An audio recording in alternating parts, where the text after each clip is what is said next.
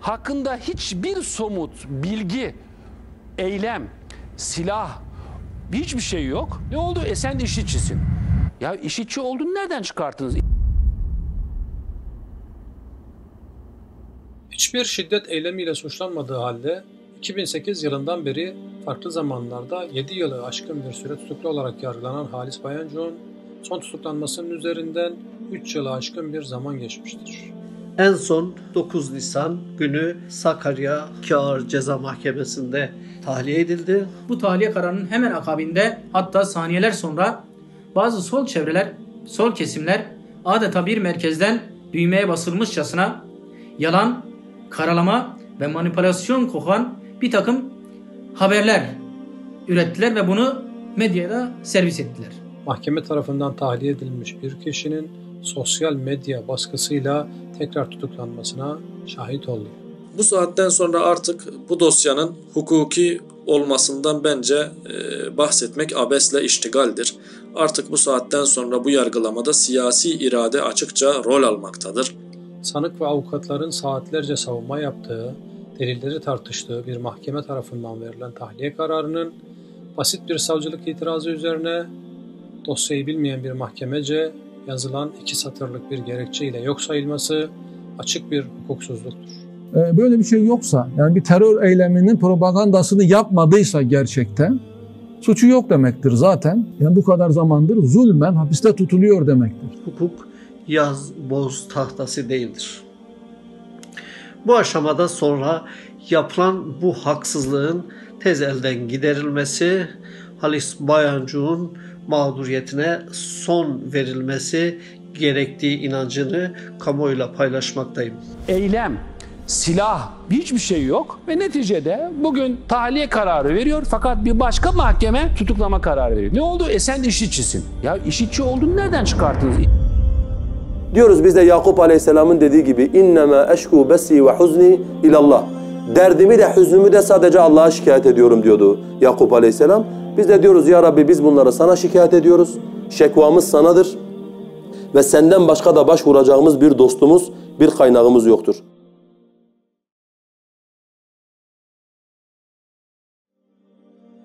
Malumunuz Sakarya 2. Ağır Ceza Mahkemesi Halis Bayancuk hakkında dün itibariyle bulunmuş olduğu konutu terk etmemek ve yurt dışına çıkmamak üzere adli kontrol hükümleri çerçevesinde bir tahliye kararı verdi. Tahliye kararının hemen akabinde Sakarya Cumhuriyet Başsavcılığı itirazda bulundu ve Nöbetçi Ağır Ceza Mahkemesi çok kısa bir süre içerisinde 1-2 saat içerisinde yeniden bir tutuklama kararı verdi.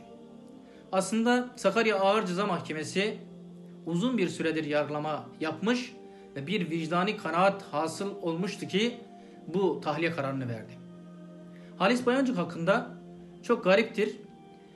Aynı suçlamalar, aynı mahiyetteki suçlamalar, aynı döneme denk gelen suçlamalar ve en önemlisi de düşünce ve ifade hürriyeti bağlamında değerlendirilebilecek bir takım konuşmalardan yola çıkılarak hem Van Ağır Ceza Mahkemesi'nde hem İstanbul Çağlayan Ağır Ceza Mahkemesi'nde hem Bakırköy Ağır Ceza Mahkemesi'nde ve yargılamayı yapan şu andaki tahliye kararını veren Sakarya Ağır Ceza Mahkemesi'nde davalar açılmıştı. Bu davaların birleştirilmesiyle ilgili bir usulü problem vardı ve nihayetinde Yargıtay'ın verdiği bir karardan sonra Sakarya Ağır Ceza Mahkemesi işin esasına girdi ve uzun da süren bir yargılamadan sonra bir vicdani kanaat hasıl olmuştu ki tahliye kararı verdi.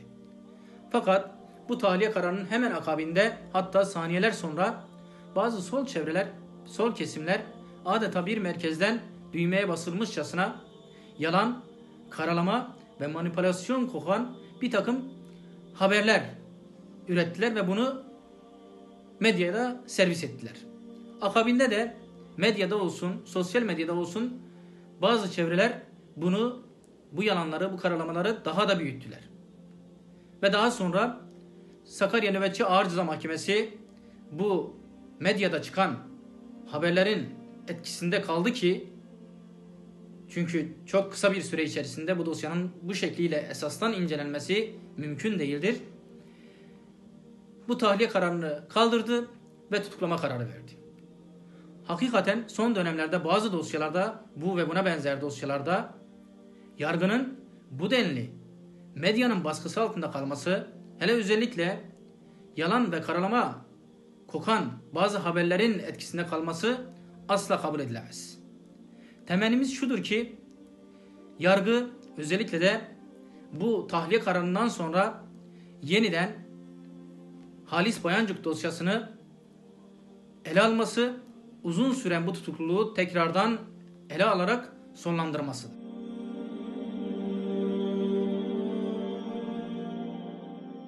Gündem Ebu Hanzala'nın dosyasıyla çalkalanıyor. Ebu Hanzala yani Hanzala'nın babası. Kod ismini böyle uydurdular. İsmi Halis Bayancuk. Kendi deyimiyle tevhid ehli Kur'an ve sünnet üzerine tebliğ görevini üstlenmiş şiddetten arı bir kişilik. Halis Bayancuk Fethullahçı terör örgütü döneminden hakkında El-Kaide üyesi olmakla soruşturmalar ve uydurma delillerle yargılamalar başlandı. Bitmedi. Fethullahçı terör örgütünün toplanmış olduğu delil, done ve uydurmuş olduğu belgelerle halen bu yanlışlık süre gelmektedir.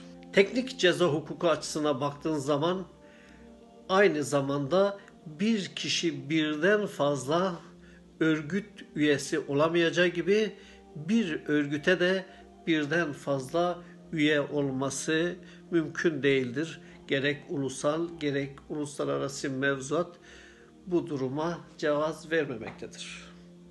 İşin garip tarafına baktığın zaman Fethullahçı terör örgütü zamanında El-Kaide, şimdi ise DAEŞ'la bağlantısı sağlanılmaya çalışılıyor. Çalışılıyor diyoruz. Ortada ceza yargılaması için somut deliller bulunmamaktadır. En son 9 Nisan günü Sakarya'da iki ağır ceza mahkemesinde tahliye edildi. Savcının itirazı üzerine 3 ağır ceza mahkemesi tekrar tutuklama kararı verdi. Bu durum da çok ciddi bir hukuki hatalarla doludur. Şöyle ki yaklaşık 3 yılda beri dosya hakim, dosyanın her tarafını bilen mahkeme heyeti tahliye ediyor. İtiraz üzerine alel acele dosya okunup okunmadığını bilinmemekle birlikte bu kapsamlı bir dosyanın o hızla okunması da söz konusu değildir. Tekrar tutuklama kararı verilmesi düşündürücüdür. Yani yanlışlık yapıldığını düşünüyoruz. Hukuk yaz boz tahtası değildir.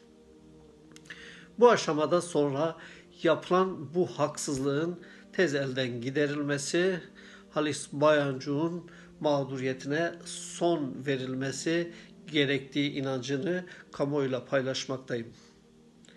Halis Bayancuk'la gerek hukuki gerek insani olarak danışma içinde olmak vicdani bir yükümlülük olduğunu düşünüyorum. Teknik ceza hukuku açısında Yargıtay'ın müstakar kararları çerçevesinde de bir suçun yani terör örgütü üyeliğini, terör örgütü yöneticisinin suçunu oluşturacak hiçbir eylemde dosyasında mevcut değildir. Bu zor günlerde sadece mağdur olan Halis Bayancuk değil, onu sevenler, ailesi, çocuğu, eşi ve akrabalarıdır. Buna derhal son verilmesini talep etmekteyiz. Saygılarımla.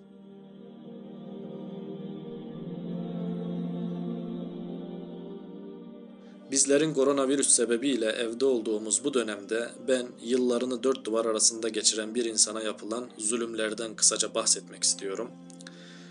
Halis Bayıncuk Tevhid Hareketi'nin kurucusu olarak bildiğimiz kişidir. Kendisi hakkında e, yıllarca terör örgütü kurmak, yönetmek, üyesi olmak, propagandasını yapmak suçlamalarıyla birçok defa dosya açıldı. Bu dosyalarda klasörler dolusu deliller toplandı. Toplanan bu deliller incelendiğinde e, herhangi bir örgüt ile irtibatı, iltisakı tespit edilemedi. Belki de bu sebeple Nisan 2020'de görülen duruşmasında hakkında tahliye kararı verildi. Ancak savcılığın yapmış olduğu itiraz üzerine Yıllardır görülen dosyayı sadece bir saatlik bir inceleme sonrası bir üst mahkeme bozarak Halis Bayıncuk hakkında tekrardan tutuklama kararı verdi. Bu saatten sonra artık bu dosyanın hukuki olmasından bence e, bahsetmek abesle iştigaldir. Artık bu saatten sonra bu yargılamada siyasi irade açıkça rol almaktadır. Halis Bayıncuk hakkında ulusal medya özellikle e, DAEŞ'in Türkiye sorumlusu, El-Kaide'nin Türkiye sorumlusu gibi çok sivri ve keskin ifadeler kullanarak haberler yapmakta, yargı ve siyasi iktidar üzerinde baskı oluşturmaktadır. Bu baskının altında kalan siyasi iktidar ve yargı ise ne yazık ki Halis Bayıncuk'a e, zulmü reva görmektedir. Ulusal medyanın mevcut yargı düzenimiz hakkındaki değerlendirmesine baktığımızda bence e, durum net bir şekilde anlaşılabilir. Ulusal medya yargı hakkında yargı altın çağını yaşıyor ibaresini kullanmaktadır. Balyozu, Ergenekon'u, Şike'yi ve birçok diğer e, dosyayı aklayan yargı ulusalcılara göre altın çağını yaşamakta. Aynı yargı düzeni başta Halis Bayuncuk olmak üzere birçok samimi Müslümanı ise cezaevine göndermekte, haklarını ihlal etmekte, onlara zulmü reva görmektedir. İşte altın çağını yaşayan bu yargının kimin yargısı olduğu gayet açık bir şekilde anlaşılmaktadır. Siyasal iktidar ise bu duruma en ufak bir müdahalede bulunamamaktadır. Başta Halis Bayıncuk olmak üzere diğer tüm samimi Müslümanlara yapılan zulümleri kınıyorum. Bu adil olmayan yargı ve iktidar düzeni karşısında Allah'tan hepsine sabır diliyorum.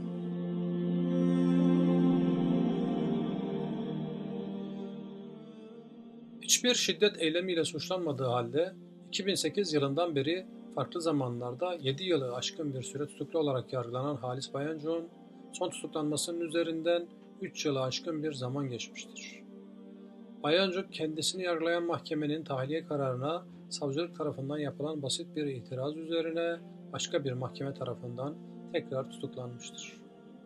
Cezaevlerinin salgın hastalık sebebiyle diken üstünde olduğu, salgın bahanesiyle ortaya atılan af teklifinin meclis gündeminde bulunduğu bir döneminde mahkeme tarafından tahliye edilmiş bir kişinin sosyal medya baskısıyla tekrar tutuklanmasına şahit oldu.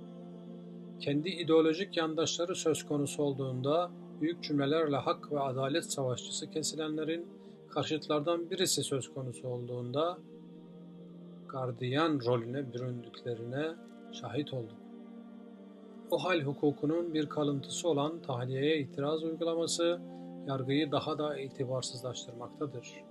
Sanık ve avukatların saatlerce savunma yaptığı, delilleri tartıştığı bir mahkeme tarafından verilen tahliye kararının basit bir savcılık itirazı üzerine dosyayı bilmeyen bir mahkemece yazılan iki satırlık bir gerekçe ile yok sayılması açık bir hukuksuzluktur.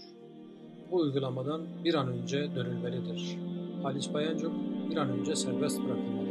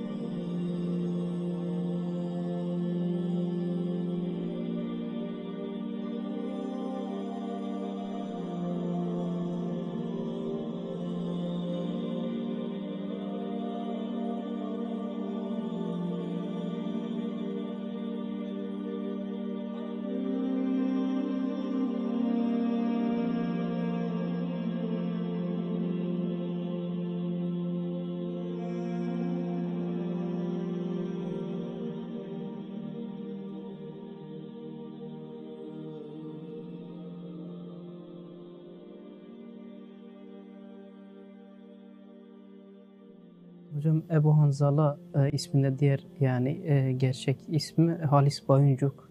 E, o da tahliye edildi. Mahkemesi vardı hocam. Sonra e, yani cezaevinden çıkmadan tekrar e, tutuklama kararı çıktı. Yani tutuklama süresi devam edecek. Bu konuda ne düşünürsünüz? Ben bugün duydum, tam o konuyu bilmiyorum, inceleyemedim ama benim başıma gelen, anlaşılan onun da başına gelmiş. Evet. Ben e, hapisten, şeyden, cezaevinden çıktım. Bir gün sonra tekrar tutuklandım. Herhalde o cezaevinden çıkmadan Çıkmadan. tekrar tutuklama kararı. Yani çok garip bir e, düzen kurdular. Olağanüstü halde bu düzen getirildi. Normalde hakimler tahliye ettiğinde ya da beraat verdiğinde itiraz hakkı yoktur. Savcı itiraz edemez idi. Bu 15 Temmuz bahanesiyle getirilen olağanüstü sistemi bunu ekledi ve devlet istemediği bir karar çıkarsa bir mahkemeden bu yolla tekrar adamı tutukluyor. Savcıya itiraz et diyor. Savcı itiraz ediyor. Yan odadaki mahkemeye gidiyor. Ben ona yan oda diyorum. Yani üst mahkeme diyorlar da üst mahkeme normal normalde üst mahkeme istinaf mahkemesidir. Yargıtay'dır. Üst mahkeme değil. Yan odadaki mahkeme. Mesela diyelim ki benimki dördüncü ağır cezaydı. Dördüncü ağır cezanın dosyayı bilen, dosyayı bilen o. Dosyayı bilmeyen yan odadaki diğer mahkeme, beşinci ağır ceza, eşit mahkemeler aslında bunlar. Arkadaşlar, yan odada olan mahkeme bozuyor. Hiç dosyayı bilmediği halde. Sistem böyle kurulmuş. Hakimler bu kadar baskı altındalar. Buna rağmen e, olur da bir hakim bir tahliye kararı verir, bir beraat kararı verecek olursa bu kadar baskıya rağmen yargı bağımsızlığı diye bir şey tamamen gerçek dışı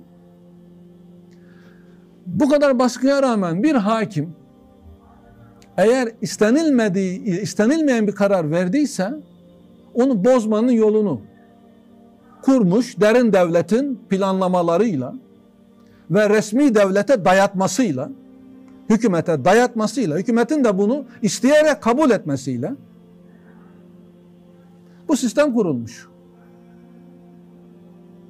Ve birisini hakim tahliye ettiği zaman savcı itiraz ediyor. Diğer mahkeme tekrar tutuklama veriyor. Hiç dosyayı bilmediği halde. Böyle bir düzen. Şimdi o şahısla ilgili ben dosyasını bilmiyorum. Yani e, bir e, haksızlığa uğramış olma ihtimali yüzde 99. Ben dosyayı bilmediğim için yani yüzde bir pay bırakıyorum. E, yani belki de yüzde yüzdür. Yani çünkü e, benim bildiğim kadarıyla böyle bir terör eylemi falan filan yok. Yani böyle bir terör e, terör eylemlerini savunmuşluğu var mı? Hani onlara yardım sayılabilecek e, terör eylemlerini meşru göstermiş. Böyle bir propaganda var mı? Böyle bir şey yapmış mı? Bilmiyorum ama e, böyle bir şey yoksa yani bir terör eyleminin propagandasını yapmadıysa gerçekten suçu yok demektir zaten. Zaten yani bu kadar zamandır zulmen hapiste tutuluyor demektir. Şaşırmadım. Eğer tekrardan tutuklama gerçekleştiyse yani artık zaten bu düzen normal bir düzene dönüştü. Yani demin anlattım ya. Yani e, o 15 Temmuz e, bahanesiyle e, katı bir sistem kuruyorlar. Bir güç var Türkiye'de, derin bir güç. Bu güç Türkiye'deki demokrasiyi fazla buluyor, özgürlüğü fazla buluyor. Mahkemeleri de baskı altına alıyor. Ebu Hanzala adıyla bilinen Halis Bayancuk Sakarya e, Ağır Ceza Mahkemesi'nde yargılanıyor. Ve 3 senedir bu kişi tutuklu, yargılanıyor. Hakkında hiçbir somut bilgi, eylem, silah, hiçbir şey yok. Ve neticede bugün tahliye kararı veriyor fakat bir başka mahkeme tutuklama kararı veriyor. Ne oldu? E sen işitçisin.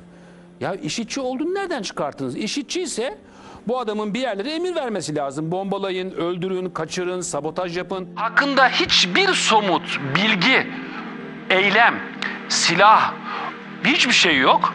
Ve neticede bugün tahliye kararı veriyor fakat bir başka mahkeme tutuklama kararı veriyor. Ne oldu? E sen işitçisin. Ya işitçi olduğunu nereden çıkarttınız?